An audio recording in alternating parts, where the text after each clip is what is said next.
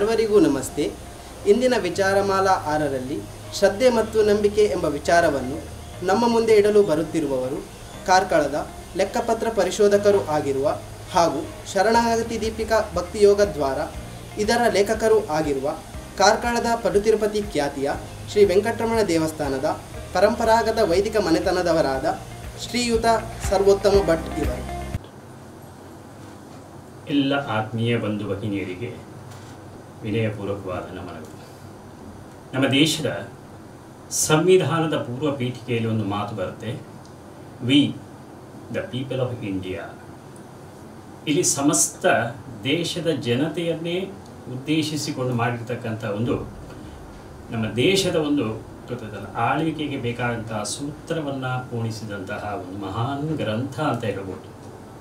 ಇಲ್ಲಿ ಉದ್ದೇಶಪೂರ್ವಕವಾಗಿ ನಮ್ಮ ಸಂವಿಧಾನ ಕರ್ತೃಗಳು ಜ, ನಮ್ಮ ಜನರನ್ನು ಉದ್ದೇಶಿಸಿ ಈ ದೇಶದ ಸಮಗ್ರತೆ, ಏಕತೆ, ಸಾರ್ವಭೌಮತೆ ಇದನ್ನು ಗಮನದಲ್ಲಿಟ್ಕೊಂಡು ಈ ದೇಶದಲ್ಲಿರ್ತಕ್ಕಂಥ ಎಲ್ಲ ಜನರಿಗೂ ಕೂಡ ಯಾವುದೇ ರೀತಿಯ ಭೇದ ಭಾವ ಇಲ್ಲದೆ ಅಂದರೆ ಬಡವ ಬಲಿದನಿರ್ಬೋದು ಸಾಮಾಜಿಕ ಅಂತರಗಳಿರ್ಬೋದು, ಅಥವಾ ಯಾವುದೇ ರೀತಿ ನಿಮ್ನ ವರ್ಗ ಕೆಳವರ್ಗ ಮೇಲ್ವರ್ಗ ಈ ರೀತಿಯಾಗಿ ವರ್ಗಗಳಿರ್ಬೋದು, ಅಥವಾ ಲಿಂಗ, ಹೆಣ್ಣು, ಗಂಡು ಇತ್ಯಾದಿ ಯಾವ ಭೇದಗಳೂ ಕೂಡ ಇಲ್ಲದ ರೀತಿಯಲ್ಲಿ ಸಮಗ್ರವಾದಂತಹ ಒಂದು ದೇಶದ ಚಿತ್ರಣವನ್ನು ಮನಸ್ಸಿನಲ್ಲಿ ಇಟ್ಕೊಂಡು ಒಂದು ವ್ಯಾಪಕವಾದಂತಹ ಯೋಜನೆಯನ್ನು ಸಾ ಮಾಡುವುದರ ಮೂಲಕ ಈ ದೇಶದ ಒಂದು ಸರ್ವಾಂಗೀಣ ಅಭಿವೃದ್ಧಿಯನ್ನು ಯಾವ ರೀತಿ ಸಾಧಿಸಬಹುದು ಎನ್ನುವ ಈ ಪರಿಕಲ್ಪನೆಯನ್ನು ಇಟ್ಕೊಂಡು ನಮ್ಮ ಸಂವಿಧಾನ ಕರ್ತೃಗಳು ಒಂದು ಸಂವಿಧಾನ ಎನ್ನುವಂಥದ್ದನ್ನು ಕೊಡುಗೆ ಕೊಟ್ಟಿದ್ದಾರೆ ಬಹುಶಃ ಇದರಲ್ಲಿ ಹೇಳಿರತಕ್ಕಂಥ ವಿಚಾರಗಳಿದ್ದಾವೆ ಅತ್ಯಂತ ಅನರ್ಘ್ಯವಾದದ್ದು ಒಂದು ಮಾತನ್ನು ನಿಮಗೆ ಸ್ನೇಹಿತರೆ ನೆನಪಿಸ್ಕೊಳ್ಳಿಕ್ಕೆ ನಾನು ಇಷ್ಟಪಡ್ತೀನಿ. ವಿಶ್ವದಲ್ಲಿ ಇರತಕ್ಕಂಥ ಎಲ್ಲ ಪ್ರಜಾಪ್ರಭುತ್ವ ರಾಷ್ಟ್ರಗಳ, ಎಲ್ಲ ಸಂವಿಧಾನಗಳನ್ನು ಕೂಡ ಆಳವಾಗಿ ಅಧ್ಯಯನ ಮಾಡಿದಂತಹ ನಮ್ಮ ಸಂವಿಧಾನ ಕರ್ತೃಗಳು ಇದಕ್ಕೆ ವ್ಯಾಪಕವಾದಂತಹ ಒಂದು ವಿಮರ್ಶೆ, ಚರ್ಚೆ ಇತ್ಯಾದಿಗಳನ್ನು ಮಾಡಿಕೊಂಡು ಒಂದು ಸೂಕ್ಷ್ಮ, ಸ್ಥೂಲವಾದಂತಹ ರೂಪವನ್ನು ನೀಡಿದ್ದಾರೆ.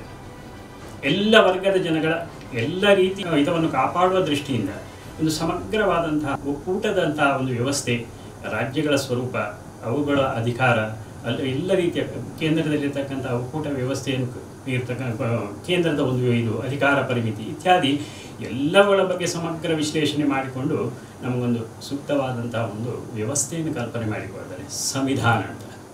ಅಲ್ಲಿ ಇರತಕ್ಕಂಥ ಎಲ್ಲ, ಈ ಎಲ್ಲ ಘನವಾದಂಥ ವಿಚಾರಗಳಿಂದಾಗಿ ಇವತ್ತು ನಮಗೆ ಸಂವಿಧಾನದಲ್ಲಿ ಇವತ್ತಿಗೂ ನಂಬಿಕೆ ಅಚಲವಾಗಿದೆ, ದೃಢವಾಗಿದೆ. ಇದು ಮೊತ್ತ ಮೊದಲಾಗಿ ನಾವು ಕಾಣಬೇಕಾದಂಥ ಒಂದು ವಿಚಾರ.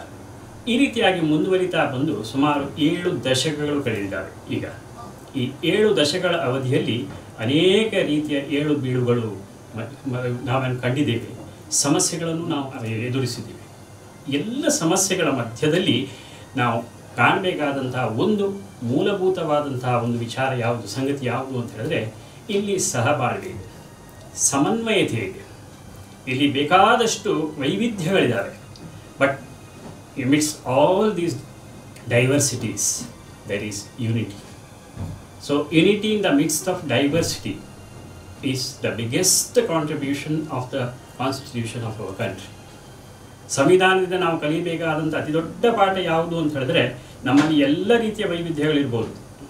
ಎಲ್ಲ ರೀತಿಯ ಭೇದ ಭೇದ ಭಿನ್ನಾಭಿಪ್ರಾಯಗಳಿದೆ ಒಪ್ತೀನಿ ನಾನು ಆದರೆ ಇವೆಲ್ಲವನ್ನು ಸಮನ್ವಯಗೊಳಿಸಬಲ್ಲಂತಹ ಮತ್ತು ಎಲ್ಲರನ್ನು ಏಕತೆಯ ಆಧಾರದಲ್ಲಿ ಕೂಡಿಸಿಕೊಂಡು ಸಮಗ್ರತೆಯ ದೃಷ್ಟಿಯಿಂದ ಸಮನ್ವತೆಯನ್ನು ಸಾಧಿಸುತ್ತಾ ದೇಶದ ಅಥವಾ ರಾಷ್ಟ್ರದ ಹಿತವನ್ನು ಯಾವ ರೀತಿ ಕಾಪಾಡಬಹುದು ಎನ್ನುವುದಕ್ಕೆ ಉತ್ಕೃಷ್ಟವಾದಂತಹ ವ್ಯವಸ್ಥೆ ನಮ್ಮ ಸಂವಿಧಾನ ನೀಡಿದೆ ಈ ಏಳು ದಶಕಗಳ ಅವಧಿಯಲ್ಲಿ ನಾನು ಈಗಾಗಲೇ ಹೇಳಿದಾಗೆ ಅನೇಕ ಸಮಸ್ಯೆಗಳು ನಮಗೆ ಎದುರಾಗಿದ್ದಾವೆ, ಅನೇಕ ತಾಪತ್ರಯಗಳು ಬಂದಿದ್ದಾವೆ. ನಮಗೆ ಅದು ಬೇರೆ ಬೇರೆ ರೂಪದಲ್ಲಿ ನೈಸರ್ಗಿಕ ಪ್ರಕೋಪಗಳಿರೋ ರೂಪದಲ್ಲಿರ್ಬೋದು ಯುದ್ಧಗಳಿರ್ಬೋದು, ಎಲ್ಲ ಸಂದರ್ಭಗಳಲ್ಲಿಯೂ ಕೂಡ ರಾಷ್ಟ್ರ ಮೊದಲು ನಂತರ ವ್ಯಕ್ತಿಯಾದ ನಾನು ಎನ್ನುವಂಥ ಈ ಭಾವ ಪ್ರಕಟ ಆಗಿದೆ. ಈ ನಂಬಿಕೆಗೆ, ಜನರ ಈ ನಂಬಿಕೆಗೆ ಯಾವುದೇ ಹಂತದಲ್ಲಿಯೂ ಕೂಡ ಕುಂದುಕೊರತೆ ಆಗಿಲ್ಲ. ಕೆಲವೊಂದು ಸಂದರ್ಭಗಳಲ್ಲಿ ಅಪಸ್ವರಗಳು ಬಂದಿರಬಹುದು, ಅದು ವಿಚಾರ ಬೇರೆ. ಆದರೆ ಸ ಒಟ್ಟಾರೆಯಾಗಿ ನೋಡಿದಾಗ ಒಂದು ಸಮಗ್ರತೆಯ ದೃಷ್ಟಿಯಿಂದ ಈ ದೇಶದ ಒಳಿತು, ಇದು ನಮಗೆ ಅಗತ್ಯವಾಗಿ ಬೇಕಾದದ್ದು ಈ ದೇಶ ನಮ್ಮದು. ನಾವೆಲ್ಲರೂ ಒಗ್ಗಟ್ಟಾಗಿ ದುಡಿದು ಈ ದೇಶದ ಹಿರಿಮೆಯನ್ನು, ಗರಿಮೆಯನ್ನ ಸಾಧಿಸಬೇಕು ಎನ್ನುವಂತಹ ಒಂದು ಚಿಂತನೆ ನಮ್ಮ ದೇಶದಲ್ಲಿ ಮೂಡಿ ಮೂಡಿ ಬರುವುದಕ್ಕೆ ಕಾರಣವಾದದ್ದು ನಮ್ಮ ಈ ಸಂವಿಧಾನದ ಮೂಲ ಆಶಯಗಳು ಸಮಸ್ಯೆ ಎಂದಾಕ್ಷಣ ನಾವು ಸಣ್ಣ ಪ್ರಮಾಣದಲ್ಲಿ ನೋಡೋದಾದ್ರೆ ಒಬ್ಬ ವ್ಯಕ್ತಿಯನ್ನು ಕೇಂದ್ರೀಕೃತ ಮಾಡಿಕೊಳ್ಳೋಣ. ಮೈಕ್ರೋ ಲೆವೆಲ್ ಅಂತ ಹೇಳ್ತೇವೆ ಯಾವುದು? ಒಬ್ಬ ವ್ಯಕ್ತಿಯ ಜೀವನವನ್ನು ನಾವು ಆ ವಿಶ್ಲೇಷಣೆ ಮಾಡಿದರೆ ಪ್ರತಿನಿತ್ಯ ಜೀವನದಲ್ಲಿ ಅನೇಕ ಸಮಸ್ಯೆಗಳು ಬರ್ತಾನೆ ಇರ್ತವೆ. ಸಮಸ್ಯೆಗಳು, ತಾಪತ್ರಯಗಳು, ತೊಂದರೆಗಳು, ಇದು ಬರುವಂಥದ್ದು ಮನುಷ್ಯನಿಗೆ ಸಹಜವಾದ ಪ್ರಕ್ರಿಯೆ. ಎರಡು ವಿಧದಂಥ ವಿಧವಾದಂಥ ವ್ಯಕ್ತಿಗಳಿದ್ದಾರೆ. ಸಮಸ್ಯೆಗಳು ಬಂದಾಗ ಇದರಿಂದ ಪರಾನ್ಮುಖರಾಗಿ, ಅಂದರೆ ಇದನ್ನು ಬಿಟ್ಟು ಓಡಿ ಹೋಗುವಂಥ ಒಂದು ಪ್ರವೃತ್ತಿಯವರಿದ್ದಾರೆ. ಅಥವಾ ಇನ್ನೊಂದು ವರ್ಗ ಇದೆ, ವಿಧಿಯನ್ನು, ಅಥವಾ ತನ್ನ ಇನ್ನೊಬ್ಬ ಯಾವ ವ್ಯಕ್ತಿಯನ್ನು ಇದಕ್ಕೆ ದೋಷಿ ಎಂದುಕೊಂಡು ಬೆಟ್ಟು ಮಾಡಿ ತೋರಿಸುವುದರ ಮುಖಾಂತರ ತನ್ನ ಜವಾಬ್ದಾರಿ ಕಳ್ಕೊಳ್ಳುವುದು ಇವರಿಬ್ಬರನ್ನು ಬಿಟ್ಟರೆ ಮೂರನೇ ವರ್ಗದ ಜನ ಇದ್ದಾರೆ. ಅವರು ಈ ಸಮಸ್ಯೆಗಳನ್ನು ಎದುರಿಸಿ ನಿಂತು ಬಿಟ್ಟು ಇದರಿಂದ ಸಫಲರಾಗಿ ಹೊರಗೆ ಬರುವವರು. ಅವರಿಗೆ ಎಷ್ಟು ಸಮಸ್ಯೆಗಳು ಬಂದಿದ್ದಾವೆಯೋ ಅವೆಲ್ಲವನ್ನು ಎದುರಿಸತಕ್ಕಂತಹ ಒಂದು ಹಿರಿದಾದ ಗುಣ ಇದೆ. ಯಾರು ಸಮಸ್ಯೆಗಳನ್ನು ಧೈರ್ಯವಾಗಿ ಎದುರಿಸ್ತಾನೋ ಅವನು ಆ ಸಮಸ್ಯೆಗಳನ್ನು ಎದುರಿಸ್ತಕ್ಕಂಥ ಒಂದು ಆತ್ಮಸ್ಥೈರ್ಯವನ್ನು ಬೆಳೆಸ್ತಾನೆ ಸೆಲ್ಫ್ ಕಾನ್ಫಿಡೆನ್ಸ್ ಅಂತ ಹೇಳ್ತೇವೆ ನಾನು ಈ ಸಮಸ್ಯೆಗಳನ್ನು ನಾವು ಎಷ್ಟೆಷ್ಟು ಧೀರರಾಗಿ ಎದುರಿಸ್ತಾ ಹೋಗ್ತೇವೆಯೋ ಅಷ್ಟಷ್ಟು ನಮ್ಮ ಆತ್ಮಸ್ಥೈರ್ಯವು ಜಾಗೃತವಾಗ್ತಾ ಹೋಗ್ತದೆ. ನಿಜವಾಗಿ ನಾವು ನೋಡಿದರೆ ಒಂದು ಅರ್ಥದಲ್ಲಿ ಸಮಸ್ಯೆಗಳು ಮನುಷ್ಯನಿಗೆ ಬರುವಂಥದ್ದು ಆತನನ್ನು ಅಧೀರನನ್ನಾಗಿ ಮಾಡಲಿಕ್ಕಲ್ಲ ಆತನನ್ನು ಗಟ್ಟಿಗನನ್ನಾಗಿ ಮಾಡೋದಕ್ಕೋಸ್ಕರ ಅಂತಃಸತ್ವ ಜಾಗೃತವಾದಾಗ ಮನುಷ್ಯನ ಆತ್ಮಸ್ಥೈರ್ಯ ಬೆಳಗಿದಾಗ ಆತನು ಏನನ್ನು ಬೇಕಾದರೂ ಸಾಧಿಸಬಲ್ಲನು ಎನ್ನುವಂಥದ್ದು ಒಂದು ಅನೇಕ ಕಾಲ ಕಾಲಗಳಿಂದಲೂ ನಮ್ಮ ದೇಶದಲ್ಲಿ ಒಂದು ಸರ್ವವಿದಿತವಾಗಿರ್ತಕ್ಕಂಥ ಪ್ರಮುಖ ವಿಚಾರವಾಗಿದೆ. ನಮ್ಮಲ್ಲಿ ಒಂದು ಮಾತಿದೆ, ನ ದೈನ್ಯಂ ನ ಪಲಾಯನ. ಮನುಷ್ಯ ತನ್ನ ಜೀವನದಲ್ಲಿ ಬಂದಿರತಕ್ಕಂತಹ ಎಲ್ಲ ಸಮಸ್ಯೆಗಳನ್ನು ಎದುರಿಸ್ತಾ ಹೋಗುವ ಹಂತದಲ್ಲಿ ಒಂದು ದೈನ್ಯತೆಯೂ ಇರಬಾರ್ದು, ಅಥವಾ ಪಲಾಯನವಾದವೂ ಇರಬಾರ್ದು. ನನಗೆ ಬಂದಿರತಕ್ಕಂಥ ಎಲ್ಲ ಸಮಸ್ಯೆಗಳನ್ನು ಧೈರ್ಯದಿಂದ ಎದುರಿಸತಕ್ಕಂತಹ ಒಂದು ಆತ್ಮಸ್ಥೈರ್ಯವನ್ನು ಬೆಳೆಸಿಕೊಳ್ಳುವ ಒಂದು ವಿದ್ಯಮಾನ ಏನಿದೆಯೋ, ಅದು ಮನುಷ್ಯನಿಗೆ ಶ್ರೇಷ್ಠವಾದಂತಹ ಒಂದು ಬಳುವಳಿ ಅಂತ ತಿಳ್ಕೊಂಡು ಹೇಳಿದ್ರೆ ಇದು ತಪ್ಪಾಗಲ್ಲ. ನಾವು ಎಣಿಸ್ತೇವೆ, ನಮಗೆ ಜೀವನದಲ್ಲಿ ಸಿಹಿಯನ್ನು ತಿಂದಷ್ಟು ನಮಗೆ ಖುಷಿ ಜಾಸ್ತಿ ಆಗುತ್ತೆ. ಆದರೆ ಅತಿಯಾದ ಸಿಹಿಯನ್ನು ತಿನ್ನುವುದು ಕೂಡ ಆರೋಗ್ಯಕ್ಕೆ ಒಳ್ಳೆಯದಲ್ಲ. ಸಿಹಿ ಜಾಸ್ತಿ ತಿಂದ ಹೋದಂತಹ ಹೋದಂತೆ ನಮ್ಮ ಆರೋಗ್ಯ ಕೆಡುವುದು ಜಾಸ್ತಿ, ಅವರ ಒಟ್ಟಿಗೆ ನಾಲಿಗೆ ರುಚಿಯು ಕ್ರಮೇಣವಾಗಿ ಕೆಟ್ಟೇ ಹೋಗುತ್ತೆ. ಯಾವುದೇ ಒಂದೇ ಥರನಾದಂತಹ ಒಂದು ಖಾದ್ಯವನ್ನು ನಾವು ಪ್ರತಿನಿತ್ಯವೂ ಊಟ ಮಾಡ್ತಾ ಹೋದರೆ ಅಥವಾ ತಿಂತಾ ಹೋದರೆ ಅದರಿಂದ ನಮ್ಮ ನಾಲಿಗೆಯ ರುಚಿ ಬೆಳೆಯುವುದಲ್ಲ, ಬದಲಾಗಿ ನಾಲಿಗೆ ರುಚಿ ಕೆಟ್ಟು ಹೋಗುತ್ತೆ. ಅದಕ್ಕಾಗಿ ನಮ್ಮ ಹಿರಿಯರು ಹೇಳಿದರು, ಸಿಹಿಯೊಂದಿಗೆ ಕಹಿ ಬೆರಿಬೇಕು, ಬೆಲ್ಲದೊಂದಿಗೆ ಬೇವು ಬೆರಿಬೇಕು. ನಮ್ಮ ಯುಗಾದಿಯ ಸಂದೇಶವೇ ಇದು. ನಮ್ಮ ದೇಶದ ಯುಗಾದಿಯಲ್ಲಿ ಆಚರಣೆ ನಮ್ಮ ದೇಶದಲ್ಲಿರತಕ್ಕಂಥ ಇದರ ಹಿಂದಿನ ಒಂದು ಉದ್ದೇಶ ಯಾವುದು ಅಂತ ಹೇಳಿದ್ರೆ, ಕಹಿಯೊಂದಿಗೆ ಸಿಹಿ ಬೆಲ್ಲದೊಂದಿಗೆ ಬೇವು. ಇದೆರಡು ಬೆರೆತರೆ ಸಮರಸದೇ ಇದ್ದರೆ ಮಾತ್ರ ಅಲ್ಲಿ ಜೀವನ ಸಾಧ್ಯ ಅಂತ.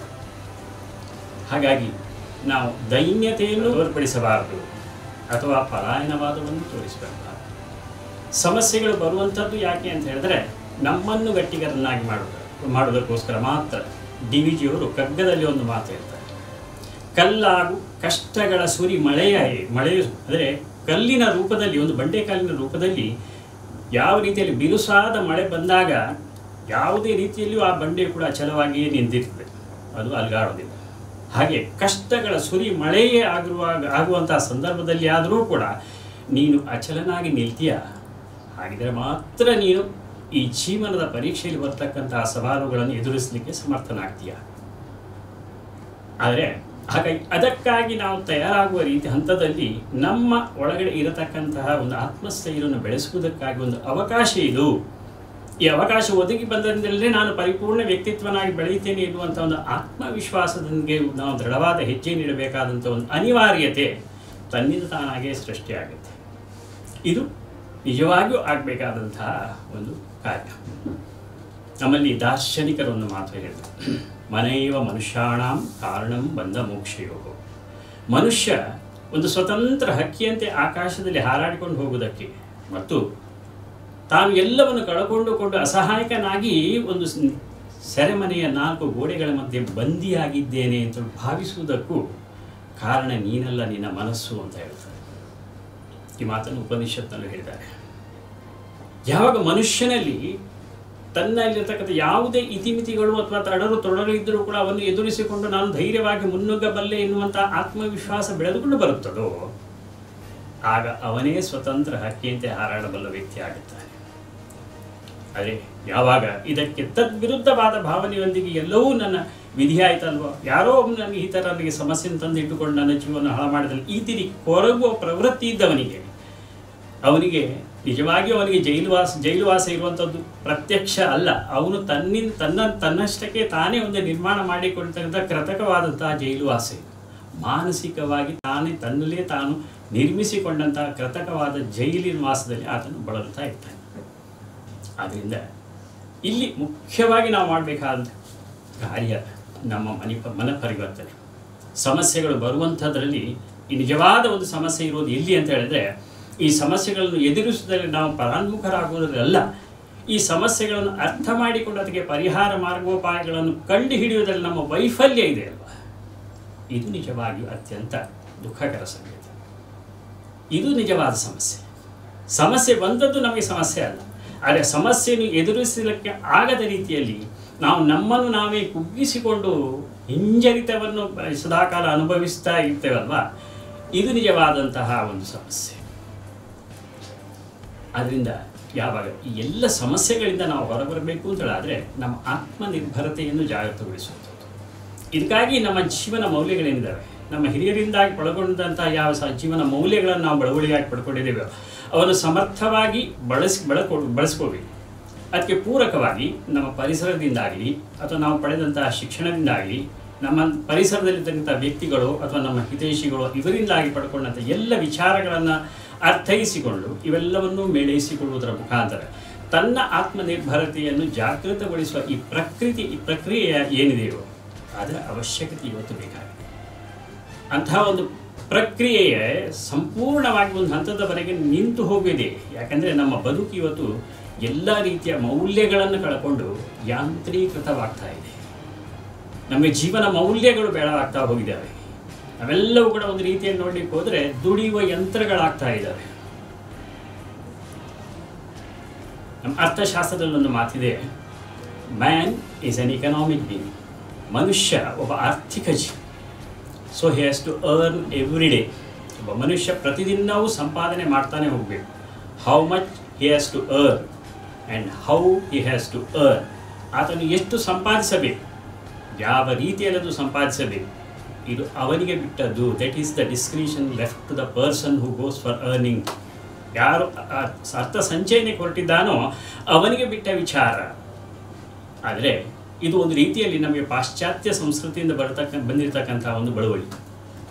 ನಮ್ಮ ಸಂಸ್ಕೃತಿ ಹೇಳ್ತಾ ಇದೆ, ಮನುಷ್ಯ ತಾನು ಏನು ಸಂಪಾದಿಸ್ತಾನೆ ಎನ್ನುವುದಕ್ಕಿಂತ ಸಂಪಾದಿಸಿದ್ದನ್ನು ಯಾವ ರೀತಿಯಲ್ಲಿ ವಿನಿಯೋಗ ಮಾಡ್ತಾನೆ? ಸಮಾಜಕ್ಕೆ ಅಥವಾ ತನ್ನ ಮನೆ ಮನೆ, ಕುಟುಂಬದವರಿಗೆ ಯೋಗ್ಯವಾದ ರೀತಿಯಲ್ಲಿ, ಉಪಯುಕ್ತವಾದ ರೀತಿಯಲ್ಲಿ ಅದನ್ನು ಉಪಯೋಗಿಸುವುದರ ಮುಖಾಂತರ ಸಮಗ್ರತೆಯ ದೃಷ್ಟಿಕೋನವನ್ನು ಇಟ್ಟುಕೊಂಡು ಸಮಾಜಕ್ಕೆ ಒಂದು ಉತ್- ಉತ್ತುಂಗವಾದಂತಹ ಅಥವಾ ಉತ್ತಮವಾದಂತಹ ಒಂದು ಆದರ್ಶಮಯವಾದಂತಹ ಒಂದು ಜೀವನ ಪದ್ಧತಿಯನ್ನು ಮೇಲ್ಪಂಕ್ತಿಯನ್ನು ಹಾಕಿಕೊಡುವುದರಲ್ಲಿ ಸಮರ್ಥನಾಗುತ್ತಾನೋ, ಅದರ ಆಧಾರದಲ್ಲಿ ಮನುಷ್ಯನ ಜೀವನದ ಸಫಲತೆಯನ್ನು ಕಾಣಬೇಕು ಎನ್ನುವಂಥದ್ದು ನಮ್ಮ ಸಂಸ್ಕೃತಿಯ ಸಂಸ್ಕೃತಿಯ ಒಂದು ಮೂಲ ಆಶೆ. ದುಡಿಯುವುದು ಬರೀ ಸಂಪಾದನೆಗಾಗಿ ಮಾತ್ರ ಅಲ್ಲ. ದುಡಿಯುವಂತಹ ವ್ಯಕ್ತಿ ಅವನೊಬ್ಬ ಯಂತ್ರ ಅಲ್ಲ. ಅವನೊಬ್ಬ ವ್ಯಕ್ತಿ, ಆತನಲ್ಲಿ ಭಾವನೆಗಳಿವೆ. ಆತನಿಗೆ ಪ್ರತಿಸ್ಪಂದನ ಮಾಡ್ತಕ್ಕಂಥ ಒಂದು ಇದೇ ವಿಚಾರ ಇದೆ ಅವನಲ್ಲಿ. ಆದ್ದರಿಂದ ನಾವು ಬರೀ ಯಂತ್ರಗಳ, ದುಡಿಯುವ ಯಂತ್ರಗಳಲ್ಲ, ನಾವು ಕೂಡ ಒಂದು ವ್ಯಕ್ತಿಗಳು. ನಮ್ಮಲ್ಲಿ ಸಂವೇದನೆ ಇದೆ. ಇದನ್ನು ಅರ್ಥೈಸಿಕೊಂಡು ನಾವು ಮುನ್ನಡೆದಾಗ ಮಾತ್ರ ನಮ್ಮ ಎಲ್ಲ ಜೀವನ ಮೌಲ್ಯಗಳಿಗೊಂದು ಅರ್ಥ ಬರುತ್ತೆ. ಹಾಗಾಗಿ ನಮ್ಮ ಹಿರಿಯರಿಂದ ನಾವು ಪಡ್ಕೊಂಡಂತಹ ಯಾವ ಜೀವನ ಮೌಲ್ಯಗಳಿದೋ ಅವುಗಳ ಮೇಲೆ ನಮಗೆ ಶ್ರದ್ಧೆ ಬೇಕು. ಆ ಶ್ರದ್ಧೆ ಇದ್ದಾಗಲೇ ಮಾತ್ರ ಎಲ್ಲ ಸಮಸ್ಯೆಗಳಿಗೂ ಕೂಡ ಒಂದು ಪರಿಪೂರ್ಣವಾದಂತಹ ಒಂದು ಯೋಚ ಸ್ವರೂಪ ಕಾಣಲಿಕ್ಕೆ ನಮ್ಮಿಂದ ಸಾಧ್ಯ ಆಗ್ತದೆ. ಸಮಸ್ಯೆಯ ಮೂಲವನ್ನು ಅರಿಯುವುದು, ಅದರ ಸಮಗ್ರ ಅಧ್ಯಯನ ಮಾಡುವುದು, ಮತ್ತು ಆ ಅಧ್ಯಯನದ ಮುಖಾಂತರ ಪರಿಹಾರ ಮಾರ್ಗೋಪಾಯಗಳನ್ನು ಕಂಡುಕೊಳ್ಳುವಂಥದ್ದು. ಇದು ನಮ್ಮ ಜೀವನದಲ್ಲಿ ಬಂದಿರತಕ್ಕಂಥ ಒಂದು ದೊಡ್ಡ ಒಂದು ಸಂಗತಿ. ಮನುಷ್ಯ ಜೀವನದಲ್ಲಿ ಶ್ರದ್ಧೆ ಮತ್ತು ನಂಬಿಕೆ ಇವೆರಡೂ ಕೂಡ ಆತನ ಭವಿಷ್ಯತ್ತಿನ ಜೀವನ ಜೀವನವನ್ನು ರೂಪುಗೊಳ್ಳುವುದರಲ್ಲಿ ಅಡಿಪಾಯಕ್ಕೆ ಆಗತಕ್ಕಂಥ ಎರಡು ಭದ್ರ ಬುನಾದಿಗಳು. ಇದನ್ನು ಅರ್ಥೈಸಿಕೊಂಡಾಗ ಮನುಷ್ಯ ತನ್ನ ಚಿಂತನಾ ಲಹರಿಯನ್ನು ಎಷ್ಟರ, ಅದರ ವ್ಯಾಪ್ತಿಯನ್ನು ಎಷ್ಟರ ಮಟ್ಟಿಗೆ ಆತನು ಮುಂದುವರಿಸಿಕೊಂಡು ಹೋಗ್ಬೋದು.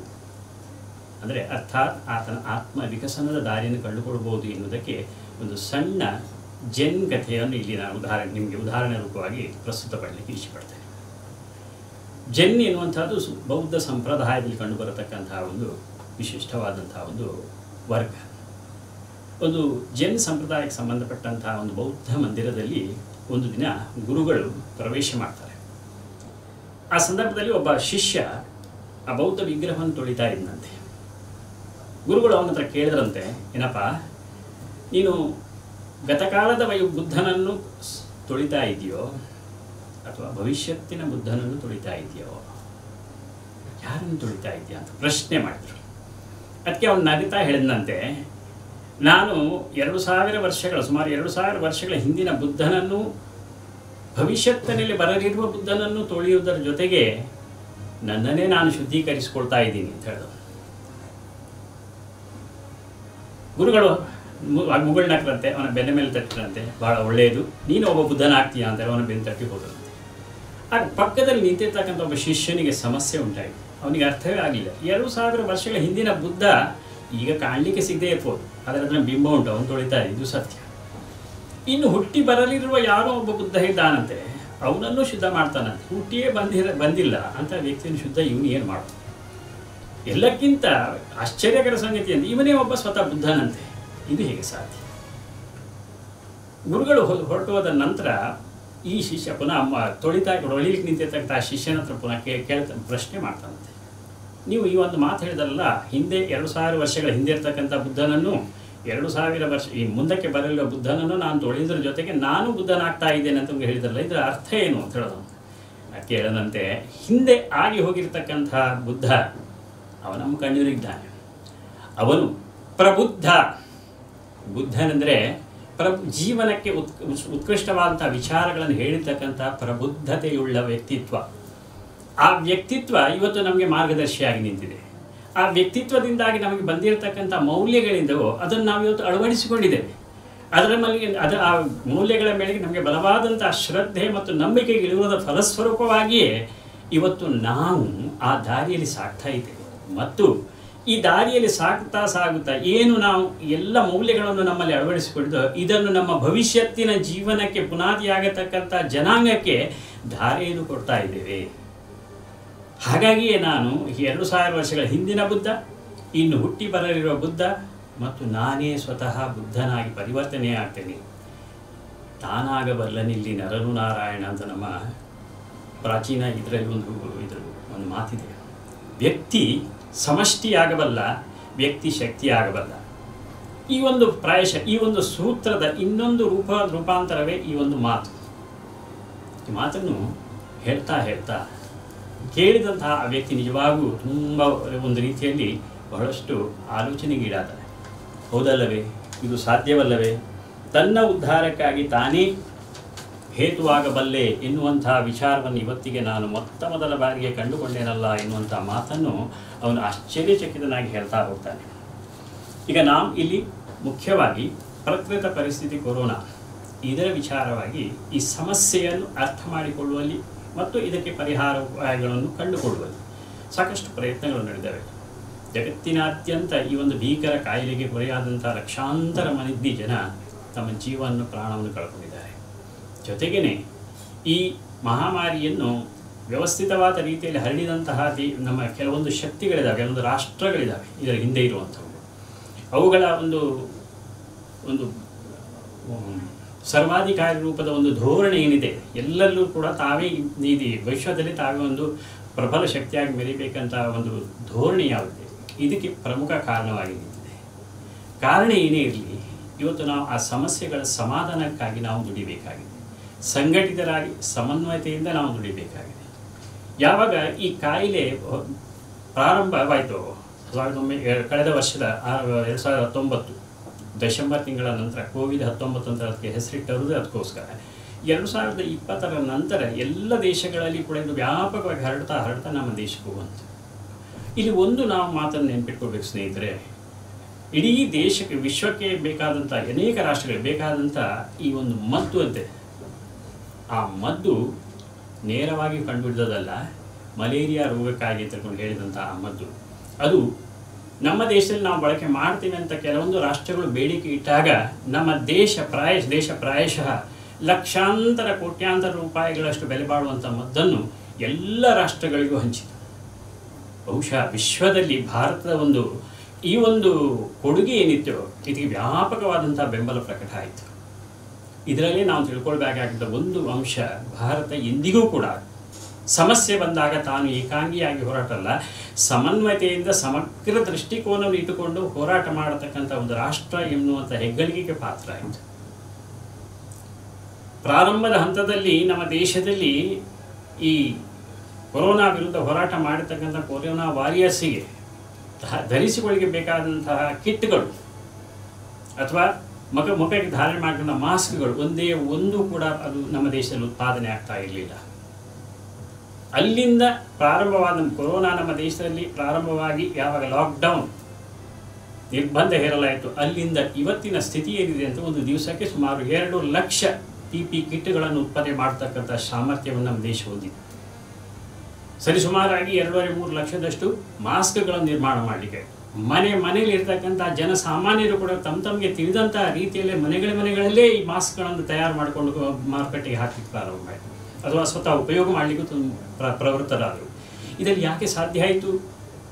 ಅಂದರೆ ಇದರ ಹಿಂದೆ ನಮ್ಮ ದೇಶದ ಜನತೆಯಲ್ಲಿರ್ತಕ್ಕಂಥ ಒಂದು ಪ್ರಾಮಾಣಿಕವಾದ ಕಳಕಳಿಕೆ ಯಾವುದು ಅಂತ ಹೇಳಿದ್ರೆ, ವಿಶ್ವಕ್ಕೆ ಒಂದು ರೀತಿಯಲ್ಲಿ ಮಹಾಮಾರಿಯ ರೂಪದಲ್ಲಿ ಕಾಡುವಂಥ ಈ ಕೊರೋನಾವನ್ನು ಯಶಸ್ವಿಯಾಗಿ ಎದುರಿಸಬೇಕು ಎನ್ನುವಂಥ ಒಂದೆರಡು ಸಂಕಲ್ಪದಲ್ಲಿ ನಮ್ಮ ರಾಷ್ಟ್ರ ಇವತ್ತು ಮುನ್ನುಗ್ತಾ ಇದೆ. ಅನೇಕ ರೀತಿಯ ಸಂಶೋಧನೆಗಳು, ಆವಿಷ್ಕಾರಗಳು ಈ ವಿಧಾನ ಆಗ್ತಾ ಇದ್ದಾವೆ. ಸರ್ಕಾರಗಳು ಕೂಡ ಅನೇಕ ರೀತಿಯ ಇದನ್ನು ತಡೆಯುವುದಕ್ಕೋಸ್ಕರ ಅನೇಕ ಸೂತ್ರಗಳನ್ನು, ಅನೇಕ ರೀತಿಯ ಕಾರ್ಯಸೂಚಿಗಳನ್ನು ಜಾರಿ ಮಾಡಿದ್ದೇವೆ. ನಾವೆಲ್ಲರೂ ಕೂಡ ಒಗ್ಗಟ್ಟಿನಿಂದ, ಒಮ್ಮತದಿಂದ ಎಲ್ಲ ನಿರ್ದೇಶನವನ್ನು ಪಾಲನೆ ಮಾಡುವುದು ಅತಿ ಅಗತ್ಯ.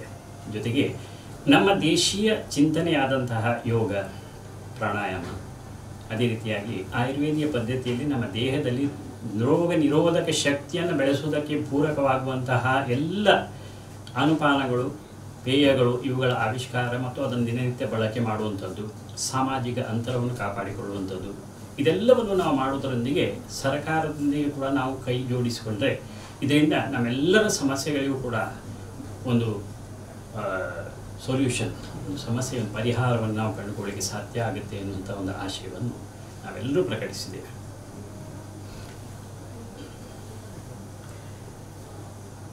ಹೀಗೆ ಈ ಸಮಸ್ಯೆಗಳನ್ನು ನಾವು ಪರಿಹಾರ ಮಾಡ್ತಾ ಮಾಡ್ತಾ ಹೋದಂಥ ಸಂದರ್ಭದಲ್ಲಿ ನಮಗೆ ಅಚಲವಾದಂತಹ ಒಂದು ನಂಬಿಕೆ ಮತ್ತು ದೃಢವಾದ ವಿಶ್ವಾಸ ಇವೆರಡೂ ನಮ್ಮಲ್ಲಿ ಸಾಧ್ಯವಾಗಬೇಕು.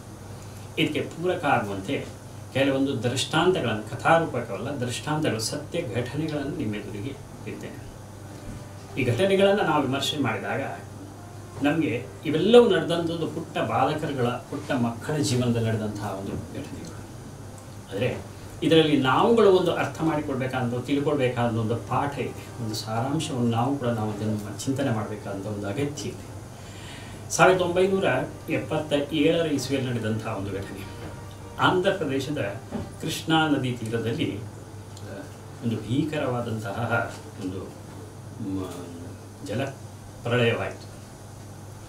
ಅನೇಕ ಜನಗಳು ತೀರಿ ಹೋದರು. ಸಾವಿರಾರು ಗಟ್ಟೆಯಲ್ಲಿ ವ್ಯಕ್ತಿಗಳು ಜನಗಳು ಕುಟುಂಬಗಳು ಮನೆ, ಮಠ ಎಲ್ಲವನ್ನು ಕಳ್ಕೊಂಡು ನಿರ್ಗತಿಕರಾದರು.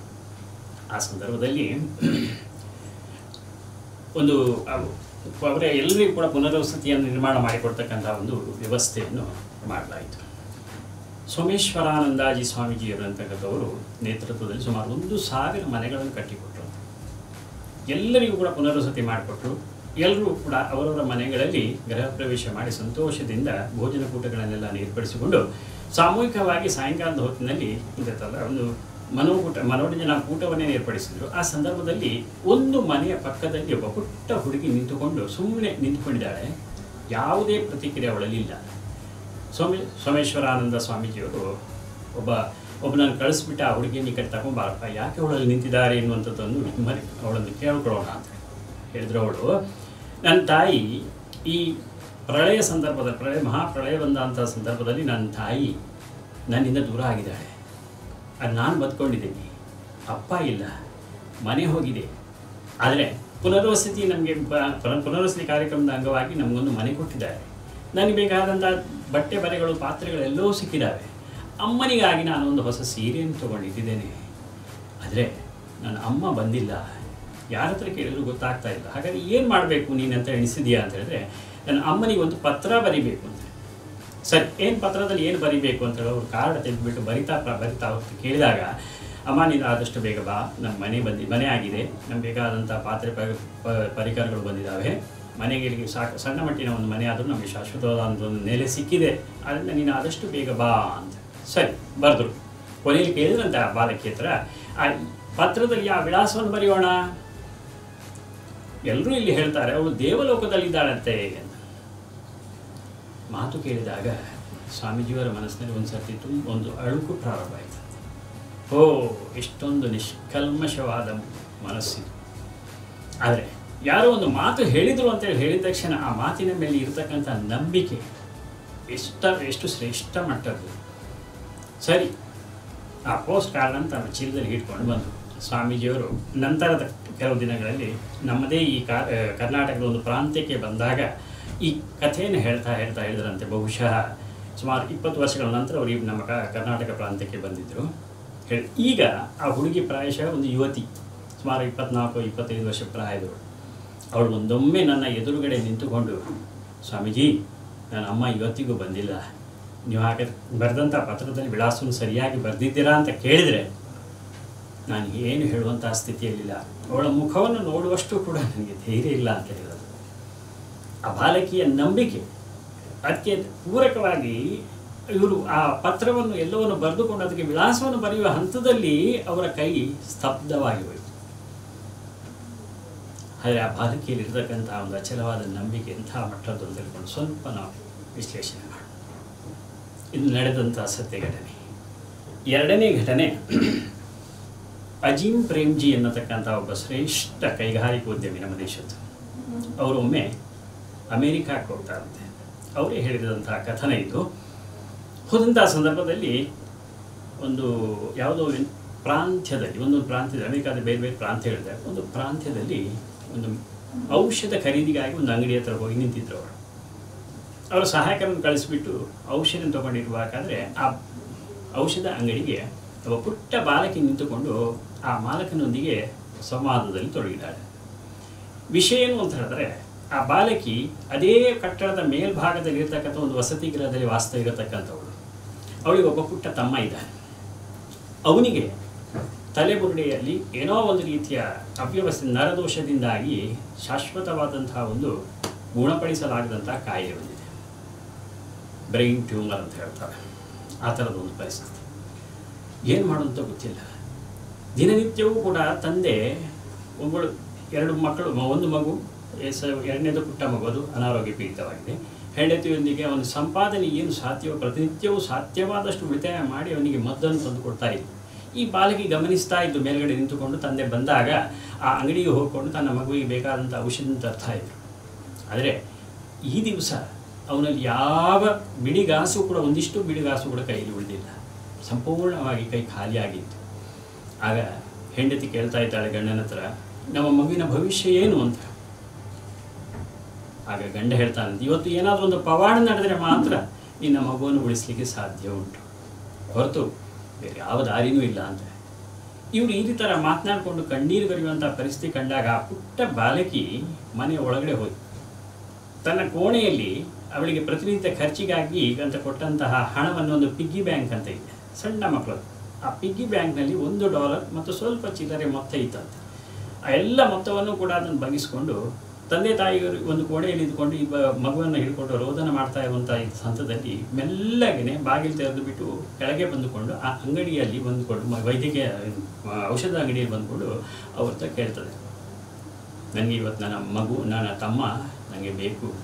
ಅವನು ಸಾಯುವ ಹಂತದಲ್ಲಿದ್ದಾನಂತ ಹೇಳ್ತಾ ಅವನು ಇನ್ನು ಯಾವುದೇ ಒಂದು ಪವಾಡ ನಡೆದೇ ಹೋದರೆ ಅವನನ್ನು ಉಳಿಸಿಕೊಳ್ಳಿಕ್ಕೆ ಆಗುವುದಿಲ್ಲ ಎನ್ನುವಂಥ ಮಾತನ್ನು ನನ್ನ ತಂದೆ ತಾಯಿ ಹೇಳ್ತಾ ಇದ್ದಾರೆ.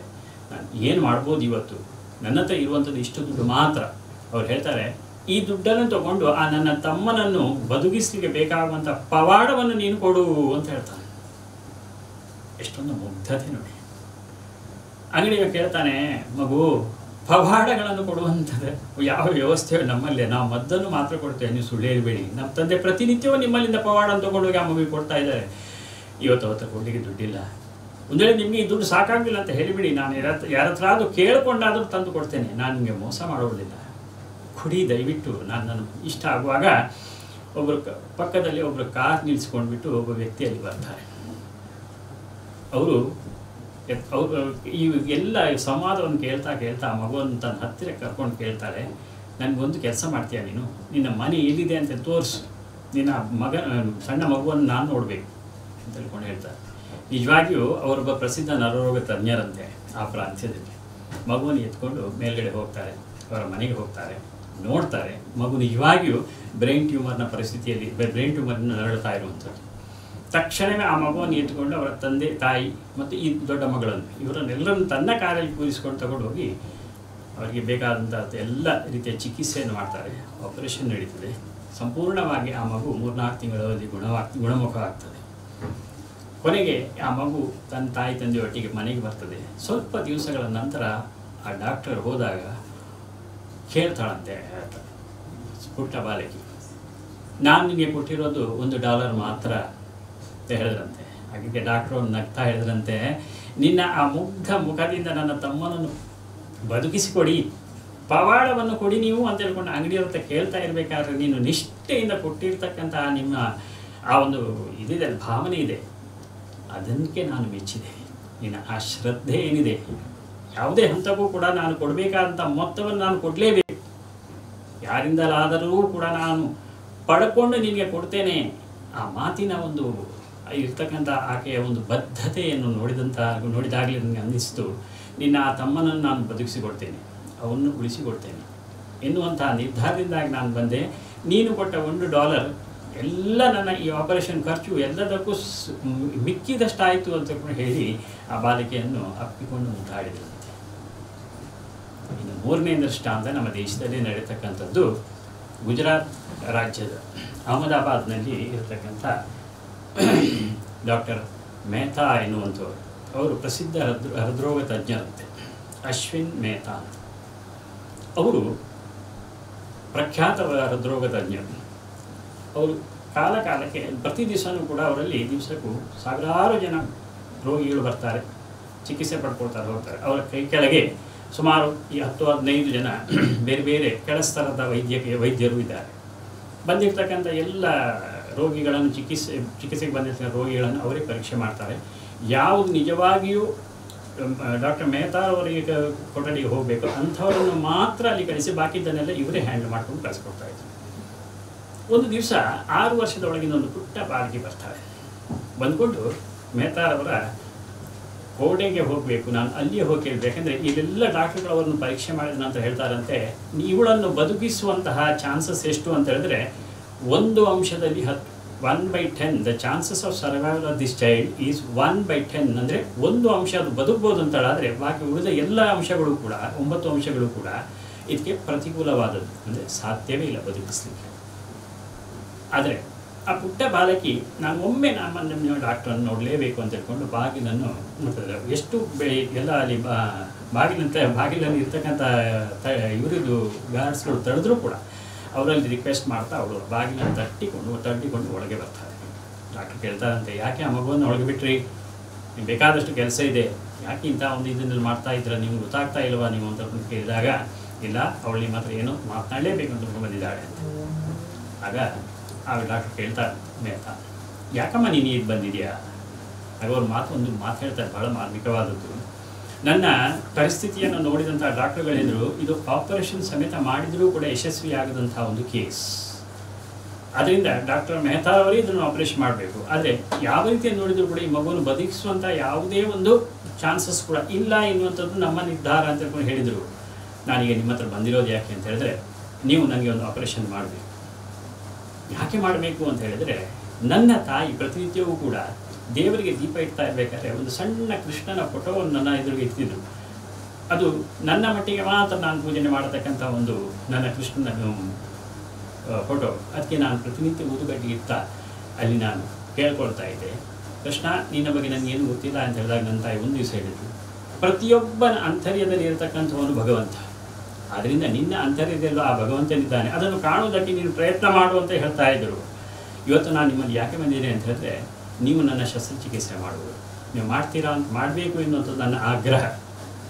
ಆದರೆ ನಾನೀಗ ಬಂದಿರೋದು ಯಾಕೆ ಅಂತಂದರೆ, ಆ ಶಸ್ತ್ರಚಿಕಿತ್ಸೆಯ ಸಂದರ್ಭದಲ್ಲಿ ನನ್ನ ಎದೆಗೆ ಗಾಯ ಮಾಡಿಕೊಂಡು ಅಲ್ಲಿ ಒಳಗಡೆ ನೀವೆಲ್ಲ ರೀತಿಯ ಪರೀಕ್ಷೆ ಇದು ಶಸ್ತ್ರಕ್ರಿಯೆಯನ್ನು ಮಾಡ್ತೀನಿ.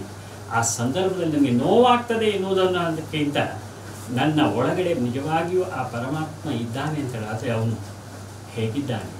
ಅಥವಾ ನೀವು ಆ ನನ್ನ ಹೃದಯವನ್ನು ಕೊಯ್ಯುವ ಸಂದರ್ಭದಲ್ಲಿ ಅವನಿಗೆ ಒಂದು ಚೂರು ಪೆಟ್ಟಾಗದ ರೀತಿಯಲ್ಲಿ ನನ್ನ ಹೃದಯವನ್ನು ಕೊಯ್ ನೀವು ಕೊಯ್ಯಿರಿ ಅಂತ ಹೇಳ್ಕೊಂಡು ಹೇಳುವುದಕ್ಕಾಗಿ ಬಂದೇನೆ ಹೇಳಿದಾಗ, ಆ ಡಾಕ್ಟರ್ ಒಮ್ಮೆ ವಿಚಾರಿತರಾಗ್ತದೆ ಏನಪ್ಪ ಇದು. ಸರಿ, ಒಪ್ಕೊಳ್ತಾರೆ ಆ ಮಗುವಿನ ಒತ್ತಾಸೆಗಾಗಿ ಒಪ್ಪಿಕೊಂಡು ಅವರಿಗೆ ಆಪರೇಷನ್ ಮಾಡೋದಕ್ಕೋಸ್ಕರ ಥಿಯೇಟ್ರಿಗೆ ಕೊಂಡು ಹೋಗ್ತಾರೆ ಥಿಯೇಟ್ರಲ್ಲಿ ಇರ್ತಕ್ಕಂಥ ಎಲ್ಲರೂ ಕೂಡ ಫಿಸಿಷಿಯನ್ಸ್ ಇವರು ಎಲ್ಲ ಟೆಕ್ನಿಷಿಯನ್ಸ್ಗಳು ಅವರ ಬ್ಲಡ್ ಪ್ರೆಷರು ಅಥವಾ ಬಿ ಪಿ ಇತ್ಯಾದಿ ಎಲ್ಲವನ್ನು ಚೆಕ್ ಮಾಡ್ತಾರೆ ಹಾರ್ಟ್ ಬೀಟಿಂಗ್ ನೋಡ್ತಾರೆ ಯಾವುದೇ ಒಂದು ಮಾನದಂಡವನ್ನು ಉಪಯೋಗಿಸಿ ನೋಡಿದರೂ ಕೂಡ ಆ ಮಗುವಿನಲ್ಲಿ ಬಿ ಪಿ ನಾರ್ಮಲ್ ಆಗ್ತಾ ಇಲ್ಲ ಅದು ಕೆಳಗೆ ಬರ್ತಾ ಇದೆ. ಹಾರ್ಟ್ ಬೀಟ್ ಲೆಕ್ಕಕ್ಕೆ ಸಿಗ್ತಾ ಇದೆ. ಆಗ ಮೆಹ್ತಾ ಹೇಳ್ತಾರೆ ಇನ್ನೂ ಈ ಮಗುವನ್ನು ಸಹ ಬದುಕಿಸುವಂಥ ಸಾಧ್ಯ ಇಲ್ಲ ಅಂತ ತಮ್ಮ ಆಪರೇಷನ್ಗೋಸ್ಕರ ಹಾಕಿರ್ತಕ್ಕಂಥ ಗ್ಲೌಸ್ಗಳನ್ನು ಮುಖಕ್ಕೆ ಹಾಕಿದ ಮಾಸ್ಕ್ ಇದನ್ನೆಲ್ಲ ತೆಗೆದುಬಿಟ್ಟು ಹೊರಗಡೆ ಬರ್ತಾ ಇರಬೇಕಾದ್ರೆ ಆ ಕೋಣೆಯ ಹೊರಭಾಗದಲ್ಲಿ ಶಸ್ತ್ರ ಕೊಠಡಿ ಚಿಕಿತ್ಸಾ ಕೊಠಡಿಯ ಹೊರಭಾಗದಲ್ಲಿ ಆಕೆಯ ತಾಯಿ ಕುತ್ಕೊಂಡು ಅವ್ರು ಹೇಳ್ತಾ ಇದ್ದಾಳೆ ಅಲ್ಲಿ ಬದಿಯಲ್ಲಿ ಒಂದು ಕೃಷ್ಣನ ವಿಗ್ರಹ ಇತ್ತು, ಮೂಲೆ. ಆ ವಿಗ್ರಹ ನೋಡ್ತಾ ಹೇಳ್ತಾರೆ ಜಗದಕ್ಷಕ ನೀನು ಭವರೋಗ ವೈದ್ಯ ನೀನೊಬ್ಬನಿರುವಾಗ ಈ ಡಾಕ್ಟರ್ಗಳು ಏನು ಮಾಡಿಯಾರು ನನ್ನ ಮಗುವನ್ನು ನಿನ್ನ ಶರಣ, ನಿನ್ನ ಪದದಲ್ಲಿ ಇಟ್ಟಿರ್ತೇನೆ ಅದರ ಭವಿಷ್ಯ ನೀನು ತೀರ್ಮಾನ ಮಾಡಬೇಕು ಅಂತೇಳಿ ಹೇಳ್ತಾರೆ. ಡಾಕ್ಟ್ರಿ ಮಾತನ್ನು ಕೇಳಿಕೊಂಡು ಮತ್ತು ಮುಂದುವರಿತಾನೆ ಇರ್ತಾರೆ. ಅಷ್ಟಾಗುವಾಗ ಆಶ್ಚರ್ಯ ಎಂಬ ರೀತಿಯಲ್ಲಿ ಒಳಗೆ ಇರ್ತಕ್ಕಂತಹ ಎಲ್ಲ ಟೆಕ್ನಿಷಿಯನ್ಗಳಲ್ಲಿ ಒಂದು ಮೂರು ನಾಲ್ಕು ದಿನ ಓಡಿ ಬರ್ತಾರೆ. ಡಾಕ್ಟರ್ ಡಾಕ್ಟರ್, ಆ ಮಗುವಿನ ಬಿ ಪಿ ನಾರ್ಮಲ್ ಆಗ್ತಾ ಇದೆ. ಹಾರ್ಟ್ ಬೀಟಿಂಗ್ ಕರೆಕ್ಟ್ ಆಗ್ತಾ ಇದೆ. ಇಷ್ಟು ಕೇಳಿದ ತಕ್ಷಣ ಅವರು ಆಶ್ಚರ್ಯಚಕಿತರಾಗಿ ಒಳಗೆ ಓಡಿ ಬಂದ್ಕೊಂಡು ಗ್ಲೌಸ್ ಹಾಕೊಂಡು ಆಪರೇಷನ್ ಮಾಡ್ತಾರೆ. ಸುಮಾರು ನಾಲ್ಕೈದು ಗಂಟೆಗಳ ಕಾಲ ನಿರಂತರವಾಗಿ ಶಸ್ತ್ರಕ್ರಿಯೆಯ ಒಂದು ಪ್ರಕ್ರಿಯೆ ನಡ್ಕೊಂಡು ಹೋಗುತ್ತೆ. ಮೂರು ನಾಲ್ಕು ದಿನಗಳಂತ ಆ ಹುಡುಗಿ ಒಂದು ಪ್ರಜ್ಞೆ ಬರುತ್ತೆ. ಸ್ವಲ್ಪ ಸಮಯದ ನಂತರ ಅವರು ಡಿಸ್ಚಾರ್ಜ್ ಹಾಕ್ಕೊಂಡು ಮನೆಗೆ ಹೋಗ್ತಾರೆ. ಒಂದು ದಿವಸ ಮೆಥಾ ಅವಳ ಮನೆಗೆ ಹೋಗ್ತಾರೆ. ಅವಳು ನಿತ್ಯ ಪೂಜನೆ ಮಾಡ್ತಕ್ಕಂಥ ಕೃಷ್ಣ ಇರಿದಾನ ನೋಡಬೇಕು ಅಂತ. ಹೋಗಿ ಅವಳ ಕೋಣೆಯಲ್ಲಿ ಹೋಗಿ ಅವಳು ಕರೀತಾಳೆ. ನಾನು ಆ ಒಂದು ಬಿಂಬವನ್ನು ನೋಡಬೇಕು ಅಂತ ಆಗ ಆಕೆ ಕೇಳ್ತಾಳಂತೆ, ನಾನು ಪ್ರತಿನಿತ್ಯ ನೋಡಿದಂಥ ಕೃಷ್ಣ ಇವನೇ, ಆದರೆ ನನ್ನ ಎದೆಯಲ್ಲಿ ಒಬ್ಬ ಇದ್ದಾನೆ ಭಗವಂತ ಅಂತ ನಾನು ಹೇಳಿದಂಥ ನನ್ನ ಆ ತಾಯಿಯ ವಿಶ್ವಾಸ, ಅದು ನನಗೆ ಬೇಕಾಗಿತ್ತು. ಅದು ಹೇಗಿದ್ದಾನೆ ಅಂತ ನೀವು ನೋಡಿದಿರಲ್ವ? ಅದನ್ನು ಸ್ವಲ್ಪ ಹೇಳ್ತೀರಾ ಅಂತ ಕೇಳ್ತಾರೆ ಕರ್ಮಠ ಜೀವಿಯಾಗಿ ಕೆಲಸ ಮಾಡತಕ್ಕಂತಹ ಮೇಧ ಕಣ್ಣೀರು ಕರಿತಾ ಇರ್ತಾರಂತೆ. ಅಮ್ಮ, ಕೃಷ್ಣನನ್ನು ನಾನು ನೋಡಿಲ್ಲ. ಆದರೆ ಆತನಿಗಿರ್ತಕ್ಕಂಥ ನಿನ್ನ ಅಚಲವಾದಂತಹ ಒಂದು ನಂಬಿಕೆ ಮತ್ತು ನಿನ್ನ ತಾಯಿ ಹೇಳಿರ್ತಕ್ಕಂತಹ ಮಾತೆ ಹೇಳಿರ್ತಕ್ಕ ಹೇಳಿಕೊಟ್ಟಂತಹ ಒಂದು ಸಂಸ್ಕೃತಿಯ ಮಾತಿನ ಮೇಲೆ ಇರ್ತಕ್ಕಂಥ ಒಂದು ಶ್ರದ್ಧೆ. ಇದೆಲ್ಲವನ್ನು ಕೂಡ ನಿನ್ನ ಮುಖದಲ್ಲಿ ಇವತ್ತು ನಾನು ಕಾಣುವಾಗ ನನಗೆ ಕೃಷ್ಣನನ್ನು ಕಂಡಕ್ಕಿಂತ ಜಾಸ್ತಿ ಸಂತೋಷ ಆಯಿತು ಕೂಡ ಎಂದು ಹೇಳ್ತಾ ಆಕೆಯನ್ನು ಮುದ್ದಾಡಿಕೊಂಡು ಅಪ್ಪಿಕೊಡ್ತಾನೆ ಅಂದಿನ ದಿವಸದಿಂದ ತನ್ನ ಶುಶ್ರೂಷಾ ಕೊಠಡಿಯಲ್ಲಿ ಮೇಲ್ ತಲೆಯ ಮೇಲ್ಭಾಗದಲ್ಲಿ ಕೃಷ್ಣನ ಒಂದು ಫೋಟೋವನ್ನು ಹಾಕಿಕೊಂಡು ಅವರು ಶುಶ್ರೂಷಾ ಕಾರ್ಯವನ್ನು ಪ್ರಾರಂಭ ಮಾಡ್ತಾರೆ ಎಲ್ಲ ದೃಷ್ಟಾಂತಗಳನ್ನು, ನೈಜ ಘಟನೆಗಳು ಯಾಕೆ ಹೇಳಿದೆ ಅಂತ ಹೇಳಿದ್ರೆ, ಇವೆಲ್ಲ ಸಣ್ಣ ಮಕ್ಕಳ ಜೀವನದಲ್ಲಿ ಕಂಡುಬಂತ ಸತ್ಯ ಅಲ್ವಾ? ಯಾಕೆ ನಮ್ಮಂಥ ಪ್ರೌಢರ ಜೀವನದಲ್ಲಿ ಇದರಿಂದ ಏನು ಮಹತ್ವ ಇದೆ ಅಂತ ಅಂದ್ಕೊಂಡು ನಾವು ಒಂದು ಗಳಿಗೆ ಆಲೋಚನೆ ಮಾಡ್ಬೋದು ಅಥವಾ ಈ ರೀತಿ ಚಿಂತನೆ ನಮ್ಮಲ್ಲಿ ಬರ್ಬೋದು ಆದರೆ ಮಗುವಿನ ಮನಸ್ಸಿನಲ್ಲಿರ್ತಕ್ಕಂಥ ಸರಳತೆ, ಮುಗ್ಧತೆ, ಅವರ ಮನ ವಿಚಾರಧಾರೆಗಳು ಇವರಷ್ಟು ಪರಿಪ ಪರಿಶುದ್ಧವಾದ ಮತ್ತು ಪರಿಪಕ್ವವಾದ ಚಿಂತನೆ ನಮ್ಮಲ್ಲಿ ಮೂಡೋದಕ್ಕೆ ಸಾಧ್ಯನೇ ಇಲ್ಲ. ಸಾಮಾನ್ಯವಾಗಿ ನೋಡಿ, ನಾವು ಎನ್, ಯಾವ ಮಕ್ಕಳಿಗೂ ಕೂಡ ಪ್ರೀತಿಯಿಂದ ಏನಾದರೂ ಒಂದು ಕೊಟ್ಟರೆ ಒಂದು ವಸ್ತುವನ್ನು ಕೊಟ್ಟರೆ ಅದು ತನ್ನ ಎಡಗೈಯಿಂದ ತಗೊಳ್ತೀವಿ ನಾವು ಹೇಳ್ತೆ, ಎಡಗೈಯಿಂದ ತಗೋಬೇಡ ಬಲಗಿಂದ ತಗೋ ಅಂತ. ಯಾವಾಗ ಎಡಗೈಯಿಂದ ಒಂದು ಮಗು ಯಾವುದೇ ವಸ್ತುವನ್ನು ಸ್ವೀಕಾರ ಮಾಡ್ತಾ ಇದೆಯೋ, ನಮ್ಮ ಮೆದುಳಿನಲ್ಲಿ ಎರಡು ಭಾಗ ಇದೆ, ಬಲಭಾಗ, ಎಡಭಾಗ. ಎಡ ಕೈ ಬಲಭಾಗದ ಎಲ್ಲ ಸಂವೇದನೆಗಳನ್ನು ನಿಯಂತ್ರಿಸ್ತದೆ. ಬಲಗೈ ಎಡಭಾಗದ ಮೆದುಳಿನ ಸಂವೇದನೆಗಳನ್ನು ನಿಯಂತ್ರಿಸ್ತದೆ. ಇದು ವೈಜ್ಞಾನಿಕವಾದಂಥ ಒಂದು ತತ್ವ. ಯಾವಾಗ ಎಡಭಾಗದಿಂದ ತಗೊಳ್ತದೋ, ಮೆದುಳಿನ ಬಲಭಾಗದ ಎಲ್ಲ ಸಂವೇದನೆಗಳು ಜಾಗೃತವಾಗಿರ್ತದೆ ಅಂತ. ಹಾಗೆ ಇಲ್ಲಿ ಈ ಭಾಗದಲ್ಲಿ ಇರ್ತಕ್ಕಂಥ ಸಂವೇದನೆಗಳು ಯಾವುವು? ಪರಿಶುದ್ಧ ಮನಸ್ಸು, ನಿಷ್ಕಳಂಕ ಭಾವ, ಪರಿಪೂರ್ಣವಾದಂತಹ ಪ್ರೇಮ. ಒಬ್ಬ ಕೊಲೆಗಡಕ ಬಂದು ನನ್ನ ಎದುರು, ಅವರ ಎದುರು ಬಂದು ನಿಂತ್ಕೊಂಡು ಈಗ ನಿನ್ನನ್ನು ಕೊಲ್ತೇನೆ ಅಂತ ಹೇಳಿದರೂ ಕೂಡ ಅವನ ಮುಖವನ್ನು ಕಂಡು ನಗ ನಗುತ್ತಾನೇ ಇರುವಂತಹ ಒಂದು ಭಾವ. ಎಷ್ಟೊಂದು ಪರಿಶುದ್ಧ ಪರಿಶ ನಿರ್ಮಲವಾದಂತಹ ಮನಸ್ಸು. ಅದೇ ಎಡಭಾಗಕ್ಕೆ ಬಂದ ಕೂಡಲೇ ಎಲ್ಲ ರೀತಿಯಂತ ಇರಾದಂಥ ವಿಕ್ಷಿಪ್ತ ಭಾವನೆಗಳ ಒಂದು ಆಗರ ಇದು. ನಾವೆಲ್ಲವನ್ನು ಬಲಗೈಯಿಂದ ಸ್ವೀಕಾರ ಮಾಡ್ತಾ ಇದ್ದೇವೆ. ಪ್ರಬುದ್ಧರು, ಪ್ರೌಢರಾದ ನಾವು. ನಮ್ಮ ಜೀವನ ಹೇಳಬೇಕೆ? ಹೇಳಬೇಕಾಗಿಲ್ಲಲ್ವಾ ಆದ್ದರಿಂದಲೇ ಮಕ್ಕಳ ಜೀವನದಲ್ಲಿ ಪರಿಪೂರ್ಣತೆ ಇದೆ, ಪರಿಶುದ್ಧತೆ ಇದೆ. ಡಾಕ್ಟರ್ ಬಿ ಎಂ ಹೆಗಡೆ ಇತ್ತೀಚೆಗೆ ಅವರು ವಿಮಾನ ಪ್ರಯಾಣ ಮಾಡ್ತಾ ಇರಬೇಕಾದ್ರೆ ನಡೆದಂಥ ಒಂದು ಘಟನೆಯನ್ನು ಅವರು ವಿಶ್ಲೇಷಣೆ ಮಾಡಿ ಹೇಳ್ತಾ ಇದ್ದರು ಒಂದು ಸಂದರ್ಶನ. ಪುಟ್ಟ ಮಗುವೊಂದು, ಇಡೀ ವಿಮಾನದಲ್ಲಿ ಗಗನಸಖಿಯರೆಲ್ಲರೂ ನಿಯಂತ್ರಿಸಿದ್ರು ಕೂಡ ಅದು ಕೇಳ್ತಾ ಇರಲಿಲ್ಲ. ಎಲ್ಲರ ಯೋಗಕ್ಷೇಮ ವಿಚಾರಿಸಿ ಮಾಡಿಕೊಡ್ತಾರೆ ನೀನು ಎಲ್ಲಿಂದ ಬಂದಿಯಾ? ನೀನು ನಿನ್ನ ಹೆಸರೇನೋ ನಿನ್ನ ಹೆಸರೇನೋ ಎಲ್ಲರೂ ಕೇಳ್ಕೊಂಡು ಕೇಳ್ಕೊಂಡು ಬರ್ತಾ ಇತ್ತು. ತನ್ನ ಕೈಲಿದ್ದಂಥ ಒಂದೊಂದು ಚಾಕ್ಲೇಟ್ ಒಬ್ಬೊಬ್ಬರಿಗೆ ಕೊಟ್ಟು ಬರ್ತಾ ಇತ್ತಂತೆ. ಕೊನೆಗೆ ಸ್ವಲ್ಪ ಓಡಾಟ ಮಾಡಿಕೊಂಡು ಬಹುಶಃ ದಣಿದಿದೆ. ಯಾರೋ ಒಂದು ಇಬ್ಬರು ಯುವಕರು ಕೂತ್ಕೊಂಡಿದ್ರು. ಅವರಲ್ಲಿ ಹೇಳ್ಕೊಂಡು, ಮಾಮೂ, ನಾನು ನಿನ್ನ ಕಾಲೇಜ್ ಮಲಗ್ತೀನಿ. ಅಂತ ಹೋಗಿ ಮಲ್ಕೊಂಡಿದ್ದೆ. ಎರಡು ನಿಮಿಷದೊಳಗೆ ಅದೆಲ್ಲ ಗೊರಕೆ ಹೊಡಿಲಿ, ಸಣ್ಣದಾಗಿ ಗೊರಕೆ ಹೊಡಿ ಮಾಡಿ ಇಷ್ಟ ಆಗುವ ಯಾವುದೋ ಒಂದು ಸಣ್ಣ ಇಂಜಿನ್ ಪ್ರಾಬ್ಲಮ್ನಿಂದ ವಿಮಾನದಲ್ಲಿ ಸ್ವಲ್ಪ ಕಂಪದ ಪ್ರಾರಂಭ ಆಯಿತು. ಎಲ್ಲರೂ ತರತರನೇ ಈ ಭೀತಿಯಿಂದ ಕಂಪಿಸ್ತಾ ಇದ್ರೆ ಆ ಮಗು ಮಾತ್ರ ಶಾಂತವಾಗಿ ಊಟ ಮಾಡ್ತಾ ಇದೆ ಯಾವಾಗ ಮಗುವಿನ ಥರ ನಮ್ಮ ಮನಸ್ಸಿನಲ್ಲಿ ಎಲ್ಲ ಭಾವೋದ್ವೇಗಗಳು ಸಮತೋಲನಕ್ಕೆ ತಕ್ಷಣಕ್ಕೆ ಬರ್ತವೆಯೋ ನಮ್ಮಲ್ಲಿ ಬಿ ಪಿ ಎನ್ನುವ ಕಾಯಿಲೆ ಬರೋದಿಲ್ಲ ಯಾವಾಗ ನಮ್ಮ ಜೀವನದಲ್ಲಿ ಪಾಸಿಟಿವ್ ಚಿಂತನೆಗಳು, ಅಂದರೆ ಈ ಧನಾತ್ಮಕ ಚಿಂತನೆಗಳು ಜಾಸ್ತಿ ಆಗ್ತಾ ಹೋಗುತ್ತವೆಯೋ, ಮನುಷ್ಯ ಪರಿಪೂರ್ಣತೆಯತ್ತ ಸಾಕ್ತಾರೆ ಇದು ಆ ಮಕ್ಕಳ ಜೀವನದಲ್ಲಿ ಕಂಡು ಬರ್ತದೆ. ಅವರಲ್ಲಿ ಇದೆ. ಅವರಲ್ಲಿ ಕಂಡು ಬರತಕ್ಕಂತಹ ಈ ವಿಶಿಷ್ಟ ಗುಣಗಳಿಂದಾಗಿಯೇ ಮಕ್ಕಳು ದೇವರಿಗೆ ಸಮಾನ ಅಂತ ಹೇಳುವಂಥ ಒಂದು ಭಾವನೆ ನಮ್ಮಲ್ಲಿ ಇವತ್ತಿಗೂ ಇದೆ. ಅದಕ್ಕಾಗಿಯೇ ದೃಷ್ಟಾಂತವನ್ನು ಕೊಡುವ ಸಂದರ್ಭದಲ್ಲಿ ಎಲ್ಲ ಮಕ್ಕಳ ಜೀವನದಲ್ಲಿನ ಕಥೆಯನ್ನೇ ನಿಮಗೆ ನಾನು ಸಾದರಪಡಿಸ್ತಾ ಇದ್ದೇನೆ.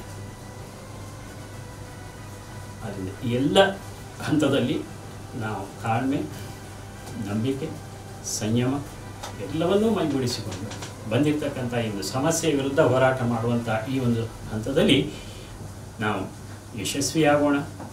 ನಾವೆಲ್ಲರೂ ಕೂಡ ನಮ್ಮ ನಮ್ಮ ಪಾಲನೆ ಕರ್ತವ್ಯಗಳನ್ನು ಶ್ರದ್ಧೆಯಿಂದ ಪಾಲಿಸಿಕೊಂಡು ಹೋಗೋಣ. ಬಂದಿರತಕ್ಕಂಥ ಸಮಸ್ಯೆ ಸಮಸ್ಯೆಯಾಗಿ ಉಳಿಯೋದಲ್ಲ, ಇದನ್ನು ಪರಿಹರಿಸಿಕೊಂಡು ನಾವು ಮುಂದಕ್ಕೆ ಹೋಗೋಣ. ಎರಡು ಸಾವಿರದ ಇಸ್ವಿಯ ಅಂತ್ಯದಲ್ಲಿ ನಮ್ಮ ದೇ, ವಿಶ್ವಕ್ಕೆ ಬಂದಿರತಕ್ಕಂಥ ಒಂದು ಮಹಾ ಒಂದು ಸಂಕಟ ಬಂದಿತ್ತು. ಕಂಪ್ಯೂಟರ್ನಲ್ಲಿ ವೈ ಟು ಕೆ ಪ್ರಾಬ್ಲಮ್ ಸಾವಿರದ ಒಂಬೈನೂರ ತೊಂಬತ್ತ ಒಂಬತ್ತು ಡಿಸೆಂಬರ್ ಮೂವತ್ತೊಂದು ಕಳೆದ ಮೇಲೆ ಮರು ದಿವಸದಿಂದ ಏನು ಎನ್ನುವಂಥದ್ರ ಬಗ್ಗೆ ಒಂದು ಜಗತ್ತಿಗೆ ಒಂದು ಕಂಟಕಪ್ರಾಯವಾದಂಥ ಸ್ಥಿತಿ ಬಂದಾಗ ವಿಶ್ವಕ್ಕೆ ದಾರಿ ತಾರಿ ತೋರಿಸಿಕೊಟ್ಟಂಥ ದೇಶ ನಮ್ಮದು. ಇದು ಹೆಗ್ಗಳಿಕೆಗೆ ಮಾತ್ರ ಸೀಮಿತವಾಗುವುದು ಬೇಡ. ಪ್ರಾಮಾಣಿಕವಾಗಿ ನಾವು ಕರ್ತೃತ್ವವನ್ನು ಸಮೇತ ನಾವು ಪಾಲನೆ ಮಾಡುವ ದೃಷ್ಟಿಯಿಂದ ನಾವು ಬೆಳೆಯೋಣ. ಜಗತ್ತಿಗೆ ಒಂದು ಉದಾತ್ತವಾದಂಥ, ಸಮಸ್ತ ಮಾನವ ಕೋಟಿಗೆ ಉದ, ಉದಾತ್ತವಾದಂಥ ಒಂದು ಪರಿಹಾರ ಮಾರ್ಗವನ್ನು ಕಂಡುಕೊಳ್ಳೋಣ ಎನ್ನುವಂಥ ಒಂದು ಸದಾ ವಿಷಯವನ್ನು ವ್ಯಕ್ತಪಡಿಸ್ತಾ ಎಲ್ಲರಿಗೂ ಕೂಡ ನಾನು ಧನ್ಯವಾದ